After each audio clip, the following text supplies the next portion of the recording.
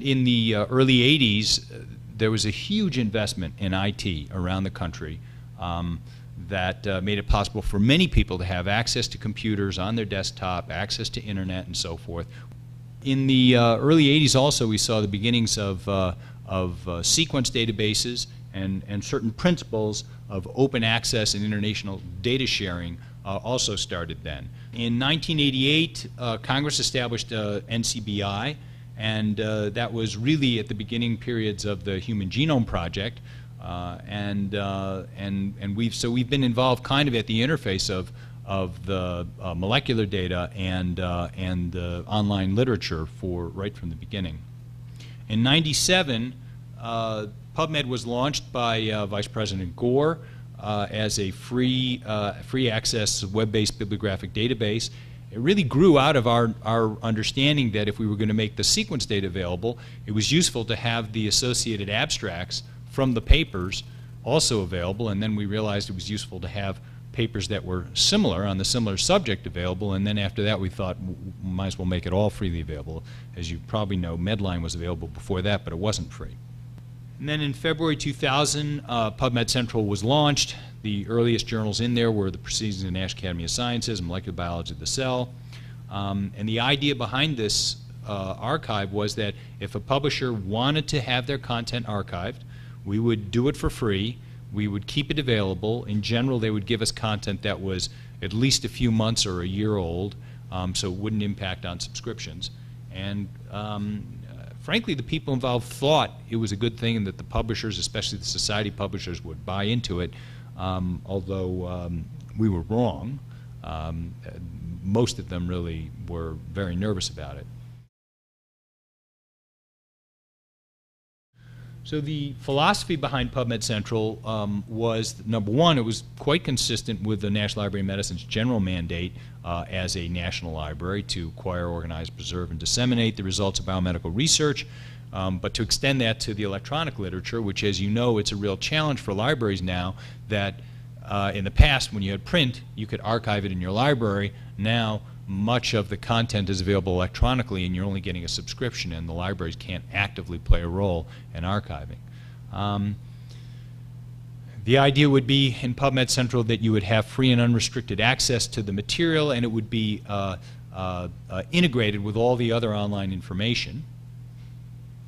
Uh, and because the way we use the information would change over time, that it was very important to have it as an open archive so that you could keep curating and finding issues with how you've mapped the information into the digital format. And the library had found, actually, from uh, Medline for many years, that the best way to ensure that the electronic content was in a usable form was to actually keep using it in a lot of different ways.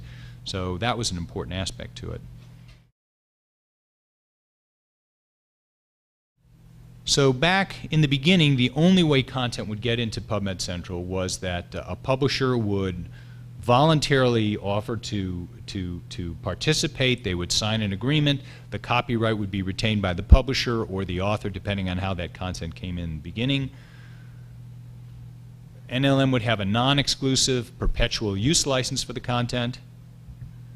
Generally, there would be free access within 12 months of publication, although some of the journals actually had it available immediately. The journal could stop depositing, could get out of the agreement at any time, but the content that was already in would stay available. Now, while PubMed Central has been associated with open access movement, in fact, the true open access articles are only a fraction of the content in PubMed Central. Most of the content does have restrictions that are imposed by either the publisher or, or the other copyright holder. Currently, um, PubMed Central also is a repository for author manuscripts. That's the form of the paper which has gone through all peer review and had all the revisions due to peer review. Um, uh, and and that is often what is the what is supposed to be deposited under various funding agency mandatory deposition uh, uh, policies. So NIH has one of these policies after a year. Wellcome Trust and other UK funders have it after six months. Howard Hughes, uh, six months.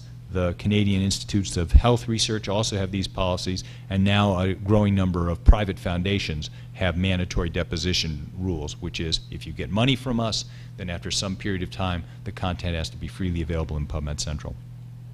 Well, this is something that we found true for PubMed Central and actually true for most of our databases, which is that as the content, as the, the database gets more comprehensive, the usage goes up approximately proportionally. And this is true for molecular databases, and it's also turning out to be true for PubMed Central, that the archive is more useful and therefore used more as it gets more comprehensive.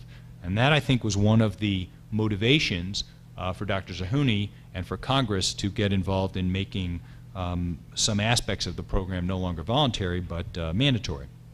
December 26 of 2007, uh, Congress uh, made the uh, public access essentially, if you got NIH funding, you had to make sure your paper was available in PubMed Central within a year of publication, or was freely available within a year. It would be put in, submitted at the time of, of acceptance. And in 2009, this was made a permanent policy. Uh, I would like to say that 100% of the papers are going in now. Uh, right now we're at probably around 65% compliance rate. A number of steps are going to be taken over the next year that I think will move us up to closer to 100%. Uh, I think NIH has really tried to kind of take a light hand with this, but, um, but at times it becomes apparent that they have to step that up. Our bottom line has to be something simple, and I call it discoveries. It's basically we need to improve the quantity and quality and the relevance of the information obtained and viewed by our users. And we need to be able, wherever possible, see that by studying our web logs. So we can design sites in the beginning with interviews, we can go back and ask users questions, but in the end we have to really make sure that we delivered and we see a change, a quantitative change in how people are using our system. So we do interview users, but we focus also on iterating uh, constantly developing a, a, a, quantitative picture of how people are using our site, and then modify what we're doing, and then seeing if, if that's working better. All right. Now, it turns out that it is not easy to do this. It's not intuitive, and we're still struggling with it, but we can make, we, we've made quantitative, easy to prove examples of this and sometimes our users are not even aware when we've made a change in the system and we can see that, that a certain fraction of the users are doing better with it. In many ways, the, although open access is a positive and so forth, I think the returns on, on the investment with all the IT and so forth have not been as dramatic as we'd like for academic communication, for communicating scientific knowledge certainly in terms of the cost, journals are more and more expensive, textbooks are more and more expensive. Still, much of the content is not as broadly available as you'd like. Just think of the small biotech companies around this country.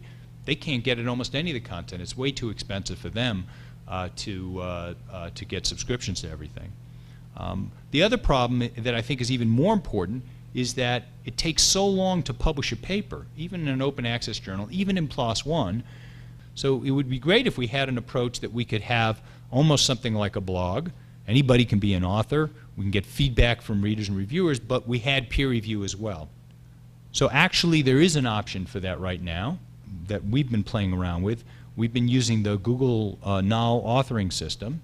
Uh, because of the pandemic uh, in spring, uh, I contacted the folks at PLOS and at Google and suggested that we try to do a new kind of journal that would be very rapid turnaround, that would do screening to make sure by experts in the field that the content was fine, that the experimental methods were solid and so forth, but would be fast.